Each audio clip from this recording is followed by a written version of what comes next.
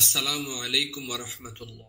সুপ্রিয় দর্শক, বন্ধুরা, কেমন আছেন আপনারা? আশা করছি আল্লাহর রহমতে ভালোই আছেন। আজ আমরা আলোচনা করব যে তিনটি কাজ আল্লাহর কাছে বেশি প্রিয়। আল্লাহ তাআলা কোরআনে মুমিনের পরিচয় তুলে ধরেছেন। বিশেষ করে প্রকৃত মুমিন কারা তা উল্লেখ করেছেন। আর এ কথা নিঃসন্দেহে বলা যায় যে, যারা আল্লাহ দেয়া আদেশ পালন করেন, নিষিদ্ধ কাজগুলো বর্জন করেন আর সব সময় আল্লাহর প্রতি শুক্রিয়া অথবা কৃতজ্ঞতা জ্ঞাপন করতে সক্ষম হন তারাই মহান আল্লাহ রব্বুল আলমিনের প্রিয় বান্দা। রসুল্লাহ সাল্লাহ আলহিহাল্লাম হাদিসের বর্ণনায় এ তিন শ্রেণির লোকের বর্ণনা ও তার কাজ সম্পর্কে সুস্পষ্ট বক্তব্য তুলে ধরেছেন। রসুল্লাহ সাল্লাহ আলহিউসাল্লাম হজরত আলী রাদ্দাল্লাহুকে লক্ষ্য করে বলেন, হে আলী, আল্লাহর কাছে বেশি প্রিয় তিনটি কাজ।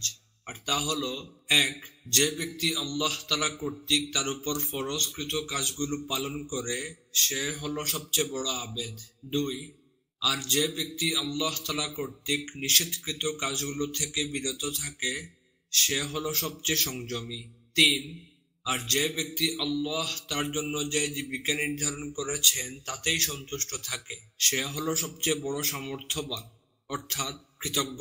হাদিসে উল্লেখিত তিনটি কাজ পালন করা মহান আল্লাহর নির্দেশ। আর যারা এই নির্দেশ পালন করেন, তারা মহান আল্লাহর কাছে অধিক প্রিয়। আর এ কারণেই তারা আবেদ সংযমী ও সামর্থ্যবান বলে উল্লেখ করা হয়েছে। আল্লাহ তালা কুরআনের একাধিক স্থানে এ তিনটি বিষয় নিয়ে একাধিক আয়াত উল্লেখ করেছেন। আল্লাহ তালা বলেন, রাসুল তোমাদেরকে যা দেন তা গ্রহণ করো এবং যা থেকে নিষেধ করেন তা থেকে বিরত থাকো।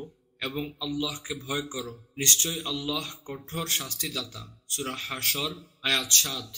আল্লাহ তালা কোরআনে একাধিক আয়াতে তার সুক্রিয়া ও তাকে স্মরণ করার কথা বলেছেন। এর বিনিময়ে তিনি বান্দার প্রতি তার নিয়ামত দান করবেন।